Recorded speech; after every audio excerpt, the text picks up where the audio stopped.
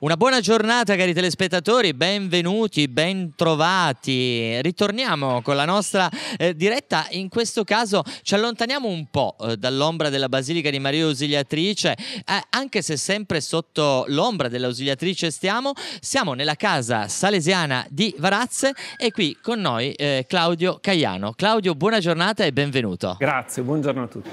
Eh, Claudio, eh, tu responsabile del gruppo degli animatori, salesiano cooperatore, eh, raccontaci un po' perché ha una storia molto bella eh, questa casa. Che cosa succede all'oratorio salesiano qua di Varazze? Eh, la casa eh, di Varazze è una delle case che ha fondato direttamente Don Bosco ormai 150 anni fa su richiesta del sindaco di Varazze che aveva conosciuto eh, eh, l'opera che stava avviando Don Bosco ad Alassio e ha deciso di chiamare questo giovane sacerdote di Torino per affidargli il collegio civico eh, della nostra città. Eh, da quel giorno... Collegio che sta alle nostre spalle. Sta alle nostre spalle, sì, sì, è proprio collocato qui dietro. E eh, da quel giorno la storia dell'oratorio di Varazza è andata avanti eh, con alterne vicende che hanno modificato non solo il suo aspetto eh, anche logistico, no? perché l'oratorio si è spostato da quella vecchia struttura a quella nuova attuale, ma anche visto eh, numerose eh, attività avviarsi nel tempo eh, le scuole, eh, il noviziato, il collegio eh, dove hanno studiato molti eh, sacerdoti, anche molti cittadini di Varazze, tra cui eh, il Presidente della Repubblica eh, Pertini, che ha fatto le scuole qui a Varazze, è nato a Stella. Quindi avete un ex allievo particolarmente sì. illustro. Tra l'altro quest'anno ricorrono i 40 anni della vittoria del Mondiale dell'82 che ha nelle immagini, oltre all'urlo di Tardelli, anche l'immagine di un sorridente Pertini in eh, tribuna allo stadio L'icona di Bernabeu. Esatto. Eh, beh, ehm, qual è l'affetto e le tracce di questo passaggio storico che nutrono ancora i, i varazzini e, e che segnano anche le vie della città? Sì, Varazze è un piccolo comune dove praticamente tutti per un motivo o per l'altro hanno frequentato il nostro oratorio, una volta nelle scuole e poi nel tempo anche eh, appunto nelle attività quotidiane dell'oratorio. Per cui diciamo che eh, Varazze vive la presenza di Don Bosco davvero in molte delle sue funzioni, non solo di Don Bosco ma anche delle figlie di Maria Ausiliatrice perché sempre a Varazze per lungo tempo eh, c'è stato anche l'istituto delle figlie di Maria Ausiliatrice non molto lontano da qui e quindi anche la storia eh, di questa parte no, della nostra famiglia ha segnato molte delle famiglie, molte delle nostre attività. 150 anni, un anno particolare, una ricorrenza importante. Come la state vivendo? Come la sta vivendo anche però tutta la cittadinanza, oltre alle attività che vengono fatte e svolte in oratorio? Allora sì, è una, è una, data molto importante anche se ehm, non stravolge diciamo, la nostra quotidianità perché poi ovviamente eh, l'oratorio ha tutte le sue dinamiche che continuano a svolgersi eh, ogni giorno. E in realtà stiamo ovviamente progettando un po' eh, di eventi, un po' di date per questo 150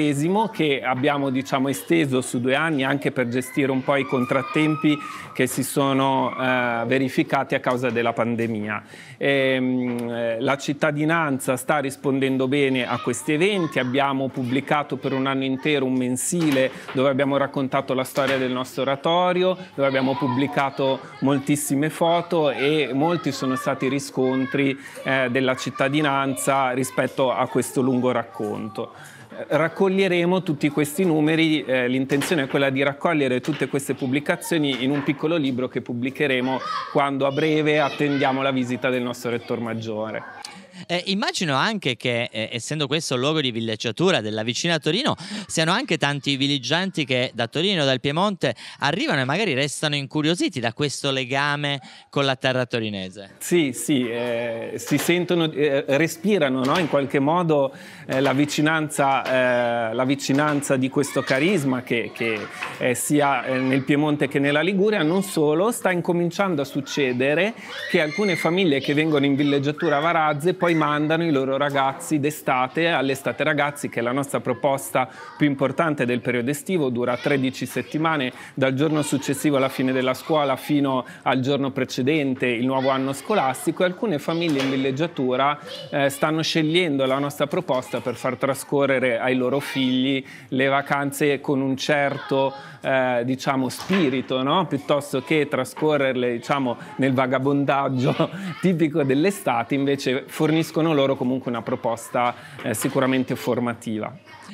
Eh, una storia, quella della casa di Varazze, che eh, tra l'altro ti riguarda poi eh, direttamente, in cui poi eh, la comunità salesiana si ritira da questo oratorio, ma non chiude l'opera, anzi eh, la Chiesa, eh, l'impegno risponde e, che cosa succede? Sì, nel 2013 è stata ritirata eh, la comunità dei consacrati e la scelta che è stata fatta per questa casa, probabilmente a noi piace pensare che è stato così perché Don Bosco Bosco ha vissuto eh, la, la, sua lunga malattia in questa casa, quasi 50 giorni di malattia nell'istituto appunto che abbiamo citato poco fa e secondo noi ci piace pensare che già allora sognava un futuro di questo tipo eh, per quest'opera. Appunto stata, la scelta è stata fatta quella di affidare l'opera alla conduzione dei laici, di persone eh, che hanno una famiglia, che hanno un lavoro, come, come appunto il gruppo di laici che ora guida questa attività attività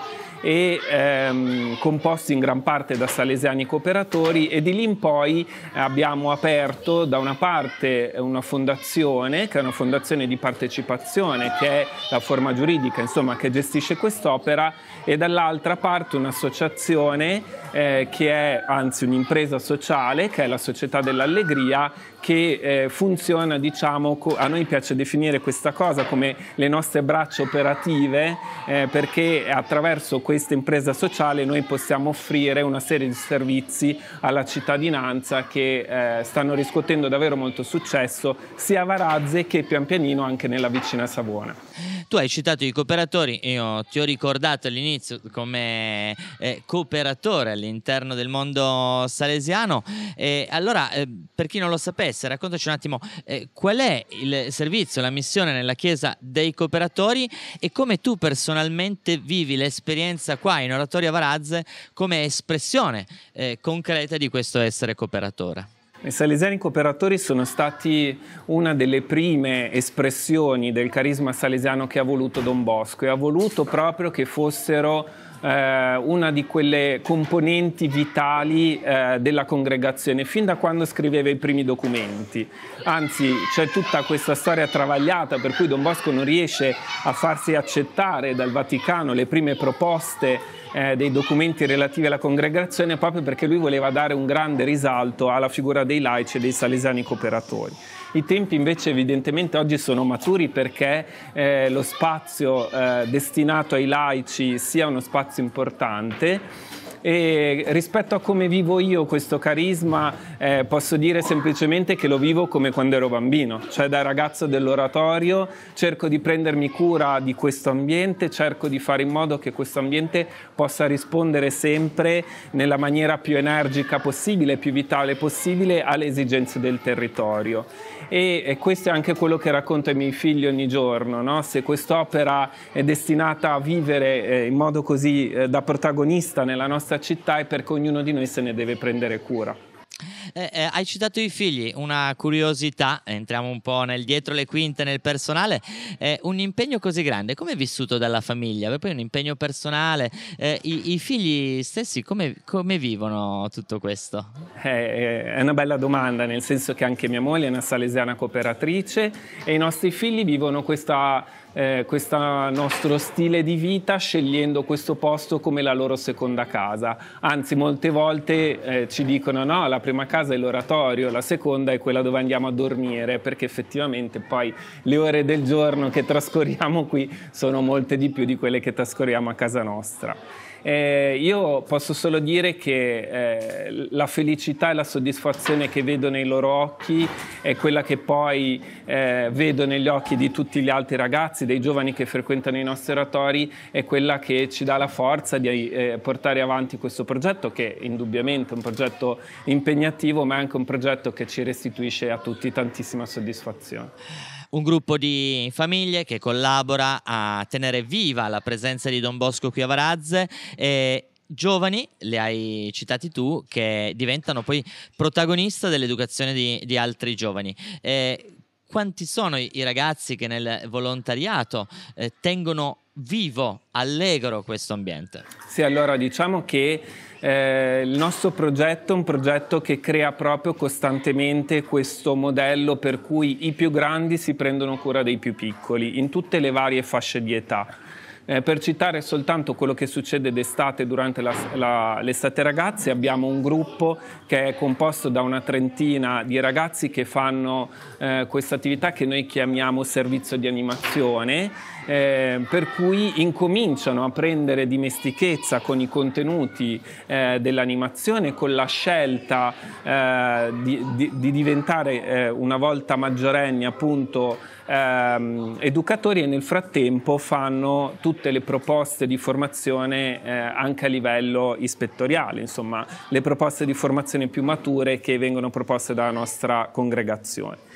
e eh, questo si eh, va avanti. Poi come dicevo anche eh, una volta più adulti, a 18 anni c'è la possibilità di entrare nel gruppo animatori ma in questo momento diciamo noi fermiamo le macchine e chiediamo ai nostri ragazzi di fare una scelta, cioè eh, quello che chiediamo ai nostri ragazzi una volta compiuti 18 anni di età è di eh, scrivere una lettera alla nostra comunità, a tutte le persone che frequentano l'oratorio, dove eh, da persone adulte scelgono responsabilmente che cosa fare del loro futuro qui in oratorio. E questa lettera viene letta davanti a tutti i loro amici, davanti ai loro genitori, davanti ai compagni di scuola se hanno piacere di invitarli a questa occasione e sancisce un po' il loro passaggio da ragazzi a giovani che scelgono all'età eh, adulta la responsabilità. Bravissimo. Un, in un'epoca in cui sui social puoi scrivere oggi tutto, domani il contrario di tutto, nell'epoca della reversibilità continua